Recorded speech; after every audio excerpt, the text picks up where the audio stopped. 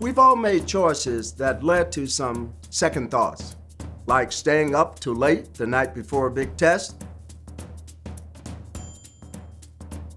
having eyes that are a bit bigger than your stomach,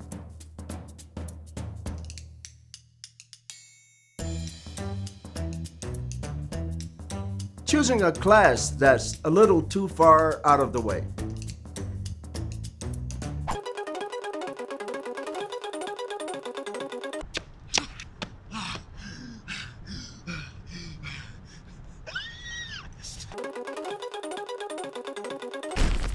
Or maybe you made a style decision that seemed just right in 1975.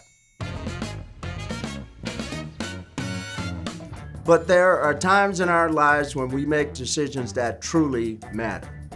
Like today, you decided on Illinois. For each of you who chose to join the Illinois family, I hope it will always be one of the best decisions you've ever made. It sure was for me. Thank you all for another safe and successful year at Illinois.